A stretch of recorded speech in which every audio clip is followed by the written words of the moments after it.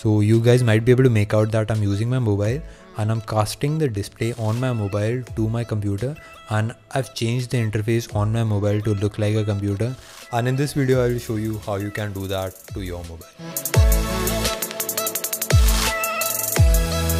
So we'll go step by step. First of all, we'll have to set up casting on our mobile so that our mobile can be casted or the display can be mirrored on the PC screen or if you're using a monitor then I will also tell you how you can do it on a monitor.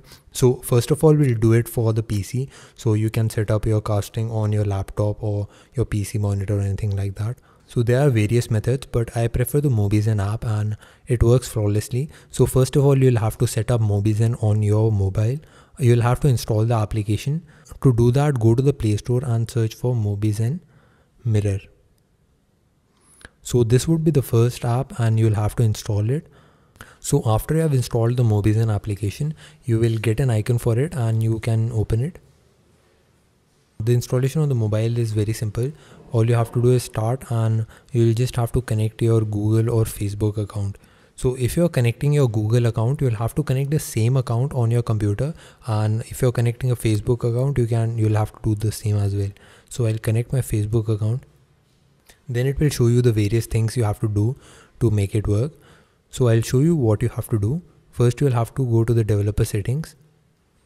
If you have not enabled developer settings you can do that by opening the about phone and then tapping on the build number seven times. After you have done that you will have developer options enabled. You'll have to open the developer options. In the developer options you'll have to enable android debugging or usb debugging and adb over network if you have it so after you have enabled everything, go to the Mobizen app again. When you go to the Mobizen app again, it would show you something like this for enable USB debugging. It will say that it has been set. And after you get this message, you just have to start Mobizen. So now you have set up everything on the mobile, you'll have to set up for the computer as well. You will need this app called Mobizen on your computer. I will leave a link in the description where you can download all the files and you'll have to install it on your computer. The installation is quite basic. All you have to do is click on the next button a few times and the app will be installed. So I'll skip the installation and then get back to you. After the installation, you'll have to open the Mobizen app. I will just search for it and open it. It will download the various files you'll have to connect your phone to the same account and on the computer also you'll have to connect to the same account. So if you're connecting via gmail you'll have to connect both accounts via the same gmail account. And if you're using facebook you'll have to connect the same account on both the devices. You'll have to tap on the two-step verification on your mobile before you log into your computer. So i'll just do that. So you will get a code that you will have to enter on your mobile and it will be connected now your phone is connected to your computer and everything that you do on your mobile will be shown onto your computer. To turn this into full screen mode, all you have to do is press Ctrl and enter and now it's in full screen mode. You can also set it up via the USB cable and I prefer using the USB cable because the casting is a bit faster. In Wi-Fi you might get some lag between the mobile and the computer. So if you want to use a TV rather than a computer as the casting display, you'll have to go to the settings menu and in the display menu, you'll find an option for cast. You'll have to click on cast and then you'll also have to enable enable wireless display. After you do that, you'll get an option for your TV if you have a smart TV or if you have a Chromecast. For some phones, it doesn't work well with Roku and Amazon Fire Stick, but this option will definitely work for Chromecast. So you'll have an option for the TV and you can just tap on that and connect it to your TV and you'll have your phone mirror to your television. Uh, if you want another video on casting on how to watch movies on your TV or PC screen using the Showbox application, it works for all the phones like for Moto G4 Plus also. Let me know in the comment section below. I might make a video on that. And also subscribe to this channel because I keep making videos like this. So now the shameless plug is over. So i'll tell you how you can set up your mobile interface. So to set up your mobile as the computer you'll need two things. First of all you'll need the interface to be just like a computer. Uh, and the second thing is that you'll need to connect your mouse and your keyboard to your mobile using an otg cable. So first of all we'll set up the interface. You'll have to go to play store and download an app called androidium. The app name is Androidium OS and it's still in beta stages but it is quite a useful application. so after you open the app it will ask for a lot of permissions. You'll have to grant all of them and you access all the apps and everything else through this application. That's why it requires a lot of permissions. So the androidium setup is quite simple. After you click ok you'll have a notification for androidium os beta.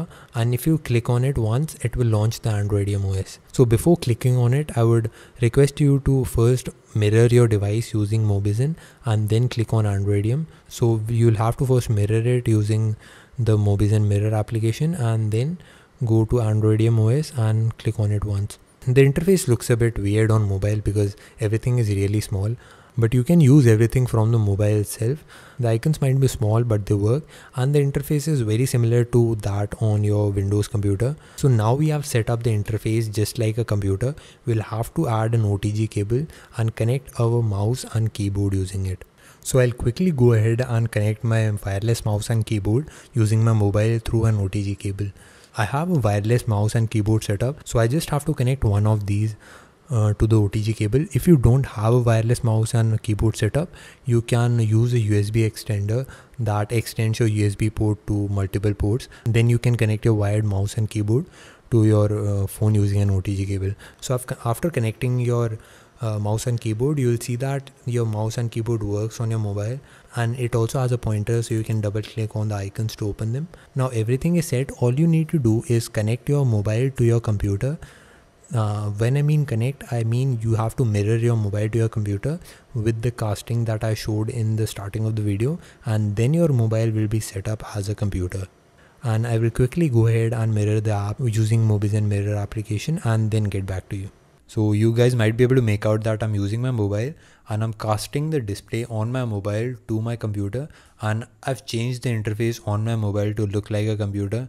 And you can also do this with a TV if you have and the mouse and keyboard are not connected to the computer but they're connected to my mobile. And this will also work with a television or any other monitor Mm, you might be able to notice that there is a bit of lag in the mouse movement on the keyboard. Mm, that's because the wireless casting is a bit slow. If you have a USB hub and you want to connect it to your computer, then you can use the USB cable. It will be very fast. And it's same for the TV. You can connect using an HDMI cable and it would work flawlessly. I will give you like a brief overview of what we can do. You can actually use the browser. It actually looks just the same as it does on the computer you have the various tabs. The interface is just like a computer. You can also play minesweeper. One thing that is required with this is that you need a decent quality phone or it might lag a lot. You have the file manager the browser and the various like basic stuff that you have on a computer. And the interface is very similar to that on a computer. And the start menu also looks very similar to windows one. You have the various androidium apps also this the androidium app is actually a kickstarter campaign and it's doing quite well. So guys that's it for the video. If you like this video give this video a big thumbs up. And i made this video just because the previous otg video got 100 likes and all of you guys requested it. So if you're a new user you can subscribe to the channel and you can also watch some previous videos of mine